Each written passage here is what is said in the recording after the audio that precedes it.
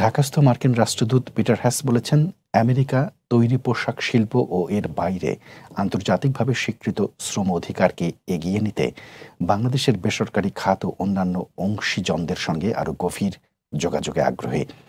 বাংলাদেশ তুলা দিবস উপলক্ষে আয়োজিত এক অনুষ্ঠানে তিনি বলেন, তৈরি পোশাক খাতের জন্য সাম্প্রতিক ন্যূনতম মজুরি পর্যালোচনা একটি বস্তুনিষ্ঠ, অন্তর্ভুক্তিমূলক এবং প্রমাণভিত্তিক জাতীয় মজুরি নীতির সুস্পষ্ট প্রয়োজনীয়তা প্রদর্শন করেছে, যা গার্মেন্টস শ্রমিকদের মুখোমুখি গুরুতর অর্থনৈতিক চ্যালেঞ্জগুলো মোকাবেলা করে। রাষ্ট্রদূত বলেন, দ্বিপক্ষীয় সম্পর্ক টেকসই ও অন্তর্ভুক্তিমূলক উন্নয়ন এবং বাংলাদেশে পরিচালিত মার্কিন কোম্পানিগুলোর জন্য একটি স্থিতিশীল ও প্রত্যাশিত পরিচালনার পরিবেশের জন্য শক্তিশালী শ্রম আইন ও তাদের বাস্তবায়ন অত্যাবশ্যক। মার্কিন রাষ্ট্রদূত বলেন, বাংলাদেশে তাদের মিশনের অন্যতম অগ্রাধিকার হল উন্নত শ্রমমানের মাধ্যমে উপলব্ধ টেকসই এবং বিস্তৃতভাবে ভাগ করা সমৃদ্ধি।